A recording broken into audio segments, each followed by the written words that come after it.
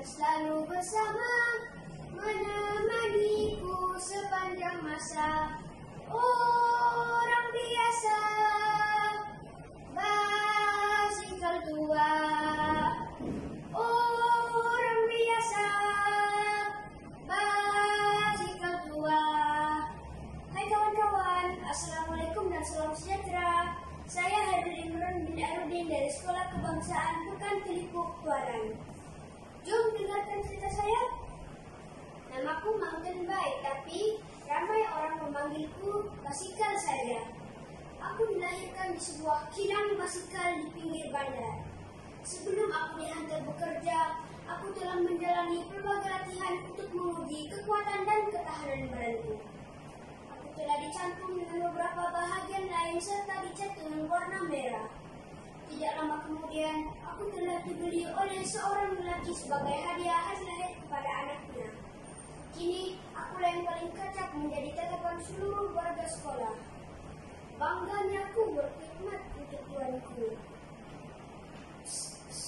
Maksud rahasia, ramai betul orang yang ingin mengayu dan selfie denganku. Tuanku amat sayang padaku.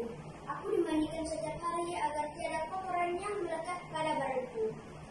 Kadang-kala aku terpaksa berhadapan dengan panas matahari, hujan, buruk, dan kesibukan.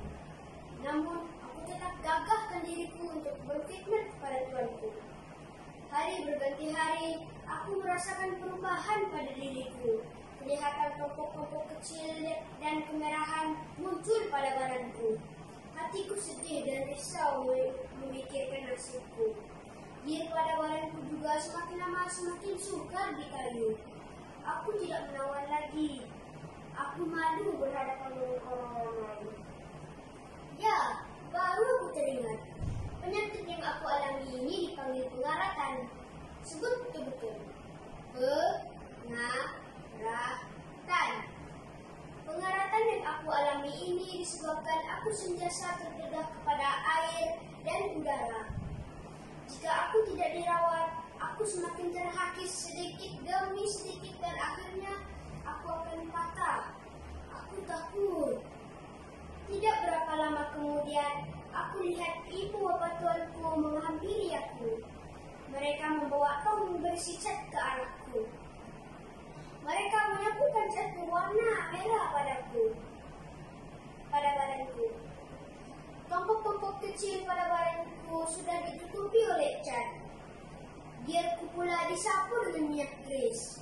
Aku merasa selesa sekali. Tuanku juga boleh mengayu aku dengan mudah. Kini aku telah kembali kacak dan segak.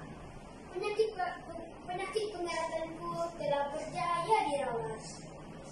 Ha, kawan-kawan, adalah penting untuk kita mencegah pengaratan objek agar bersih selamat digunakan lebih tahan lama, kelihatan seperti baru dan dapat dimakan kos.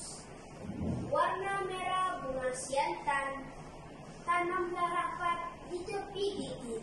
Carnival stem melestari impian, kemenjadian murid menjadi realiti. Sekian, terima kasih.